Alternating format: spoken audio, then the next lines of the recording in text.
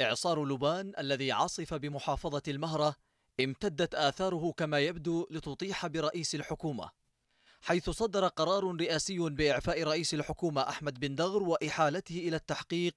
ووفق القرار فإن الإقالة جاءت نتيجة للإهمال الذي رافق أداء الحكومة خلال الفترة الماضية في المجالات الاقتصادية والخدمية ولفشلها في اتخاذ الإجراءات اللازمة لمواجهة كارثة إعصار لبان بمحافظة المهرة.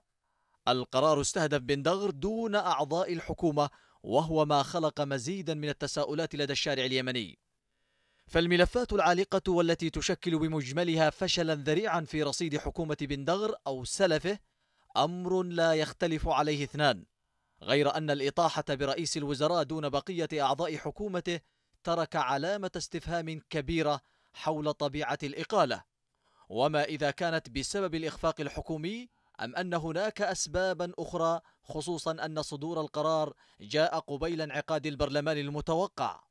مشاكل الشرعية المتراكمة التي فشلت في التصدي لها بدأت من الفشل الاقتصادي وانهيار العملة والخدمات وعدم تأمين المناطق المحررة وملف الجرحى وغيرها من الملفات التي باتت العنوان الأبرز لفشل الحكومة طوال سنوات الحرب الأربع لكن كل ذلك لا يكاد يشكل دائرة السخط الشعبي تجاه الشرعية برمتها فاستغلال الوظيفة العامة وسلسلة التعيينات العائلية التي قفزت على كل القوانين والنظم الإدارية اليمنية بل وقفزت على الظروف القاهرة التي يمر بها البلد لتترك شعبا يصارع أجله.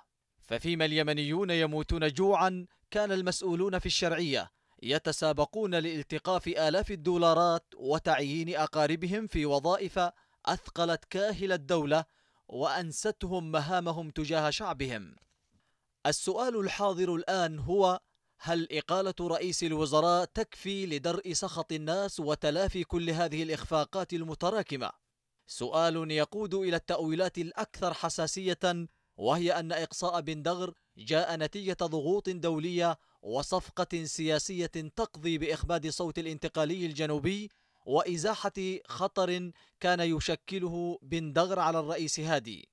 الصراع بين بن دغر وهادي على خلفية محاولات كلا الرجلين الاستئثار بتركة المخلوع في حزب المؤتمر اشتد أواره منذ بدء بن دغر بممارسة نشاط فاعل في لملمة المؤتمر دون إذن الرئيس هادي ومبشرا بعودة نجل المخلوع أحمد. لكن ما هو أبعد من السياسة وأقرب لليمنيين هو إجماعهم على فشل وعجز الحكومة وأن الثقب الأسود في أداء الحكومة اليمنية لا يمكن سده بإقالة بن دغر دون أن يشمل التغيير كل من تلوثوا بالفساد والتعيينات من رجال الشرعية وحتى مظلة هادي فهل سيتمكن الدكتور معين عبد الملك رئيس الوزراء الجديد من حلحلة كل هذه الملفات المثقلة؟